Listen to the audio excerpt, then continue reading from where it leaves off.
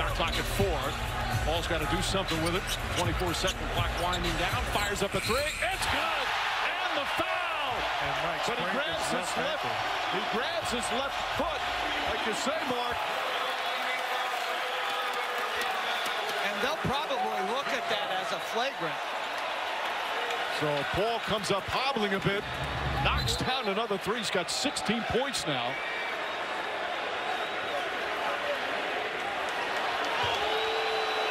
And clearly led with that left foot, and that's in the landing area. Whether or not it's enough to call it a flagrant foul.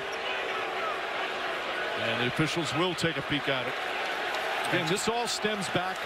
Remember the San Antonio Golden State game in the playoffs several years Change as far as this. He he clearly goes underneath Chris Paul. I'm not saying it's intentional, but it's a flagrant from where he left to where he landed.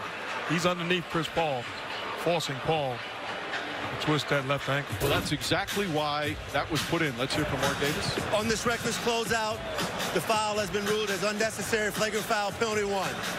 All right, flagrant foul, penalty one. There you have it.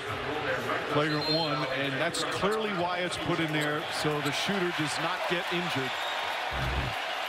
This was the play that, that turned it around, and Leonard did not return, landed right on the foot when you lead with that foot in the landing area. How good are our people having plays like that locked and loaded? And that was Marc Davis who called that one it was on this game. And